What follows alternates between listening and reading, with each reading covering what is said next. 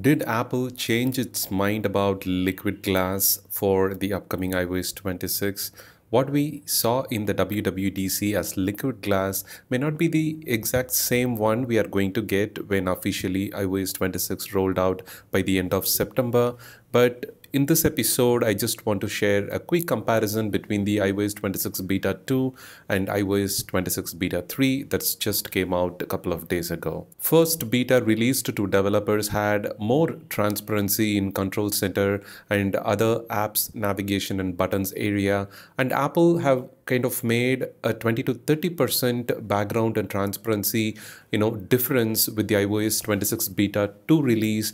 And after a couple of weeks, now we have the iOS 26 beta 3. Apple have kind of made another 10% adjustment to the background transparency effect where the liquid glass kind of looks like a frosted glass at present. One major complaint that many users have, you know, submitted in feedback assistant and generally posted in social media is the readability is at the worst with the iOS 26 beta 1.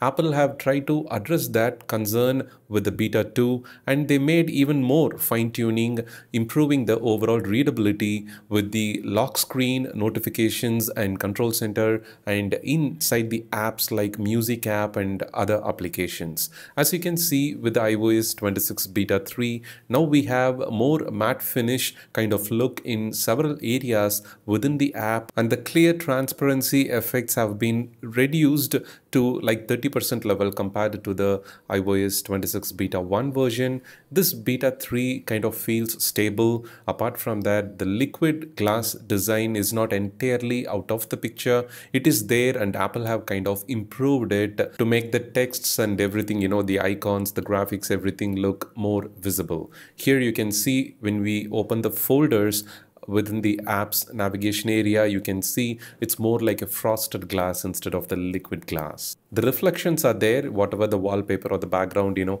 the nearby icons and everything kind of shows the reflection perfectly like what we saw in the iOS 26 beta 1 but the matte finish or the frosted glass type is what we are seeing right now with the latest beta 3 version. We will see more fine tuning and improvements in the upcoming betas and many users suggest that Apple should add a slider because some users actually liked that complete transparency of you know the text and icons and they are okay with the readability with more transparency added to the control center and other apps areas. So people wish that apple considers adding a slider that gives control to the users to decide whether the frosted glass type should be there or you know the more transparent background liquid glass actually what demonstrated on the WWDC is what they are like to use when the iOS 26 stable release comes out. Depending on the wallpaper that we use, you know, the reflections and the background transparency adjustments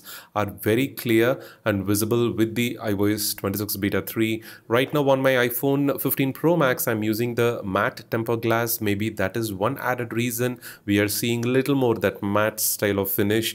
But even with the glossy display, we will see that, you know, increased frosted glass type background with the folders and music app and other navigation areas. I think it is perfect and more users will prefer this instead of a complete transparency and of course that can be an option which Apple may include as a slider to let users choose how much transparency in the background across the system they want to experience and see. With the light mode set, you know, the light mode appearance set within the settings, display and brightness, you will have more frosted type of navigation navigational areas with the dark mode set as you can see in this video the transparency is much better and I prefer dark mode. So do share your thoughts in the comments below what you think about the iOS 26 beta 3 and the previous beta version liquid glass design changes made by Apple.